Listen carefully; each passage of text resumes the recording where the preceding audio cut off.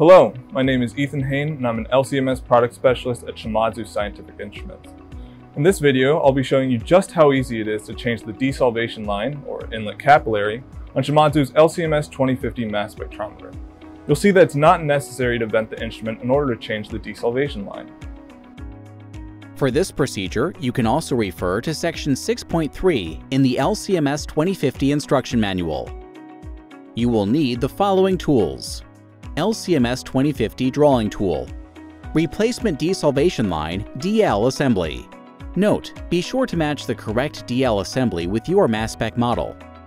After turning off all gas flows, heaters, and voltages in the Lab Solutions software, remove the LC connection tubing. Unlock and remove the ionization unit. To avoid injury, the temperature of the heated block should be below 50 degrees Celsius before you remove the unit carefully remove the corona needle from the heater flange. Then use the drawing tool to remove the heater flange itself. Loosen the knurled screw on the drawing tool and hook it onto the heater flange from the left. Tighten the knurled screw on the drawing tool and pull the heater flange straight out. Once the flange has been removed, loosen the knurled screw on the drawing tool and set the heater flange aside on a clean surface. Pull the DL assembly using your hand. Insert the new DL assembly. It's that easy. Using your hand, mount the heater flange in place. Keep it straight as you push it into place. Make sure to guide the top of the flange into the connector board and insert it all the way in.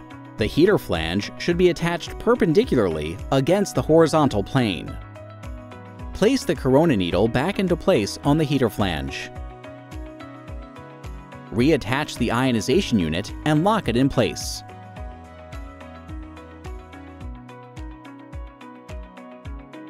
Reconnect the LC tubing and initiate the heaters, voltages, and gas flows.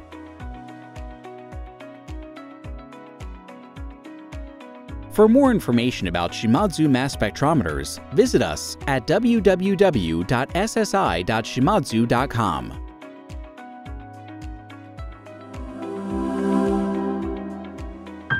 Excellence in science.